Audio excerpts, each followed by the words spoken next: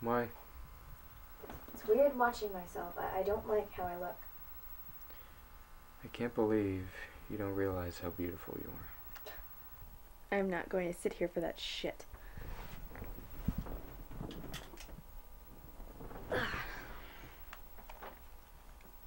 How does it feel now? Fine. You don't feel naked? I am naked. You know what I mean. Tell me about being in the hospital.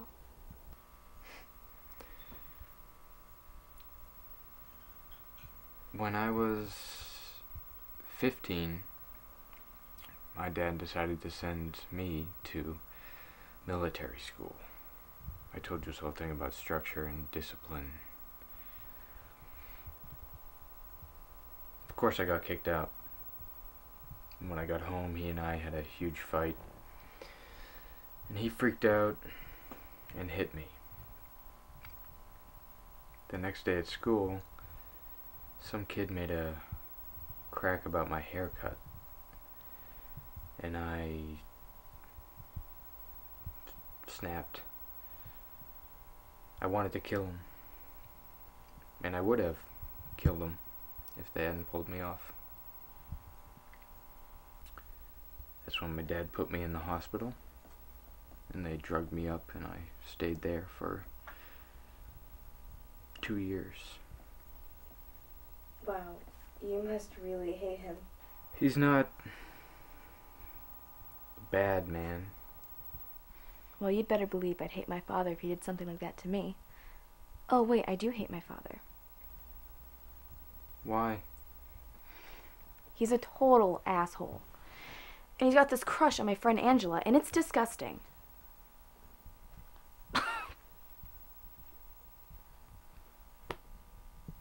You'd rather he had a crush on you? Gross. No. But it'd be nice to be anywhere near as important to him as she is. I know you think my dad's harmless, but you're wrong. He's doing massive psychological damage to me. How? Well, I too need structure, a little fucking discipline. I'm serious though. How could he not be damaging me?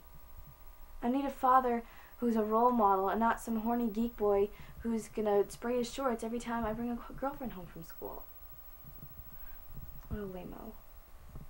So, someone should really put him out of his misery. Want me to kill him for you? Yeah, would you? It'll cost you. Well, I've been babysitting since I was 10. Have around $3,000. Of course, I was saving up for a boob job. But I guess my tits can wait, huh? You know that's not a very nice thing to do. Hire someone to kill your dad. Well, I guess I'm just not a very nice girl then, am I?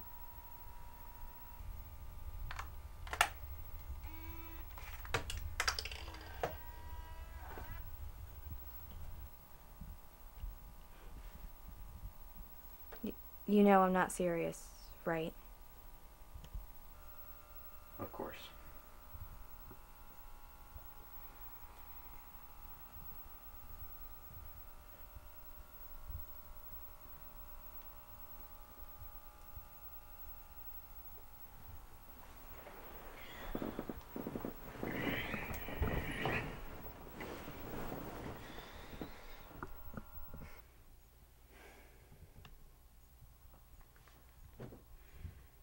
Do you realize how lucky we are to have found each other?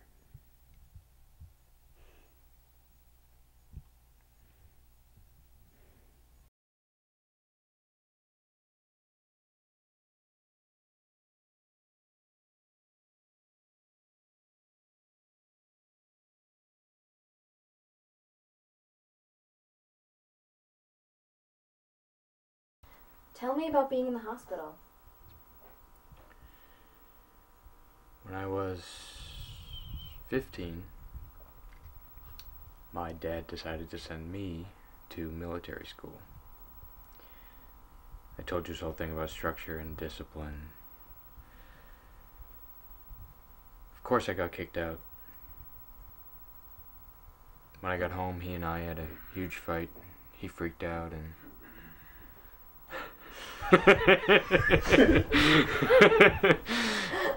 Dad, just don't exist. that was the best direction you've ever given.